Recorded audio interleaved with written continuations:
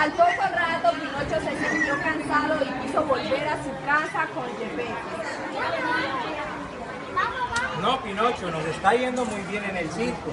No puedes abandonarnos ahora que las ventas están por el cielo. No, no, no, no te puedes ir todavía. Ven, Pinocho, ven para acá. Pero como el dueño del circo insistía en quedarse con Pinocho, Pinocho se puso a llorar.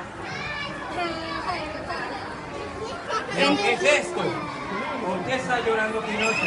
No, me va a tocar que encerrarlo, porque no soportaría que se me fuera la estrella principal. Ven, quédate aquí, encerrado en el circo. Pinocho comenzó a llamar desesperado a Pepe Grillo.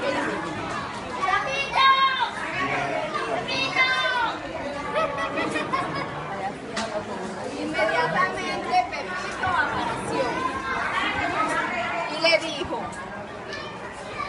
¿Qué pasa, Pinocho? ¿Por qué estás llorando? ¿Por qué te encuentras así tan triste?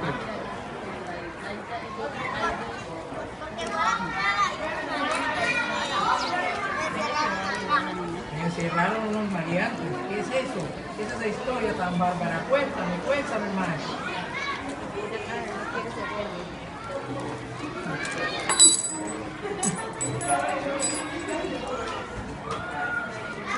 Inmediatamente la nariz de Pinocho comenzó a crecer.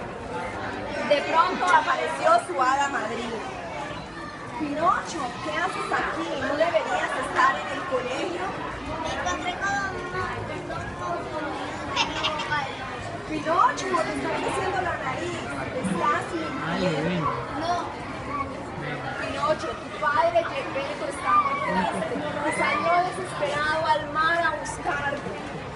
Pinocho, te dejaré libre para que vayas a buscar a tu padre que está desesperado y va hacia el mar y una ballena se lo ha tragado.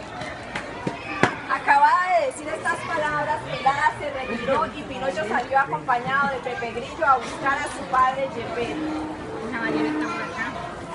Cuando iba a buscar a su padre se encontró con una niña en el camino que se dirigía al país de los juguetes. Cuidado, cuidado, cuidado.